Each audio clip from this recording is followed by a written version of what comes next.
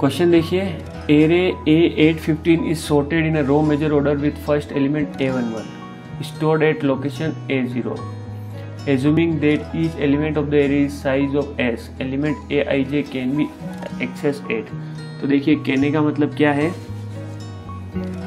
सबसे पहली बात देखिए, जो एरे जो दे रखा है,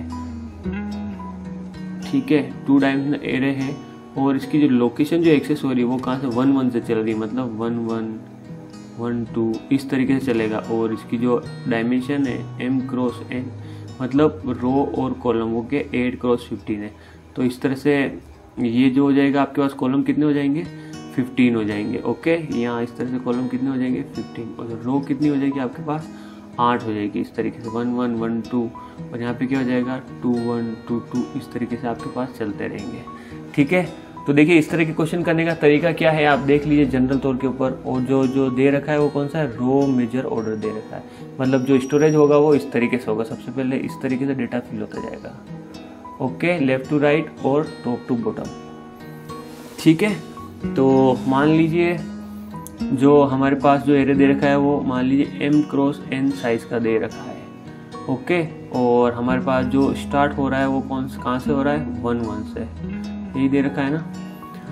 तो हमें एक्सेस करना ए ऑफ़ आई जे ओके तो सबसे पहले एक्सेस करने के लिए मान लिया जो एलिमेंट हमारा पड़ा है, यहाँ पड़ा है। ट्वेंटी थ्री थर्टी टू मान लीजिए यहाँ पे ओके थर्टी टू आ जाएगा। तो सबसे पहले हमें क्या करना पड़ेगा? ये सारे जो एलिमेंट्स हैं, इनको एक्सेस करना पड़ेगा। और ये सारे एलिमेंट्स कहाँ, कैसे एक्सेस होंगे? जितने कॉलम है और जितनी रोज चाहिए, इसको अगर मल्टीप्लाई करेंगे तो क्या ये एलिमेंट एक्सेस हो जाएँगे? हाँ हो जाएँगे। यहाँ देखिए कॉलम कितना है।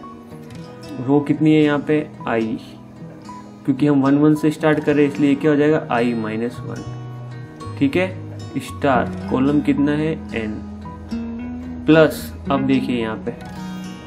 इस एलिमेंट तक पहुँचने के लिए मुझे कितने कॉलम क्रॉस करने पड़ेंगे?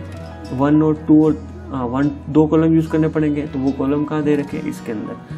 तो ये क्या हो जाएगा? जे और माइनस वन का हम यूज़ क्यों करेंगे? क्योंकि ये वन वन से स्टार्ट हो रहा है। इसलिए ओके और हर एक की साइज़ क्या है? वो क्या दे ईच एलिमेंट की साइज़ कितनी दे रखी है? एस प्लस क्या हो जाएगा? बेस एड्रेस तो आप एक तरीके से ये फॉर्मूले की तरह भी याद रख सकते हैं। ये फॉर्मूला तब लगेगा जब आपका जो स्टार्टिंग एड्रेस है वो वन वन से मान लीजिए अगर ज़ीरो ज़ीरो से है तो वो कैसे होगा? ए ऑफ़ आई जे की अगर आपको वैल्यू निकालनी है तो क्या होगा? डायरेक्ट होगा। I star n plus j और इंटू क्या हो जाएगा? जो बेस जो साइज़ दे रखी वो प्लस क्या हो जाएगा? बेस एड्रेस ये किस केस के अंदर होगा?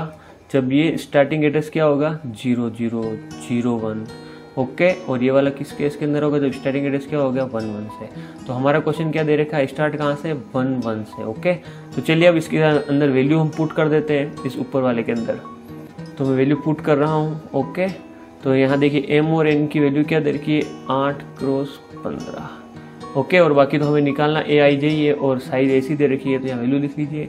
ये क्या हो जाएगा? आई माइनस वन और ये क्या हो जाएगा? इंटू क्या हो जाएगा? इनकी वैल्यू क्या है? Fifteen plus j minus one और ये क्या हो जाएगा?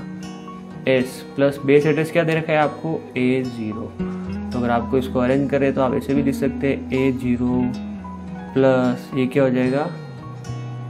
Fifteen s of i minus one.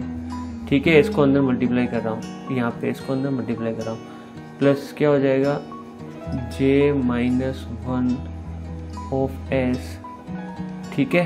तो इसका आंसर क्या हो जाएगा? ये इसका करेक्ट आंसर हो जाएगा।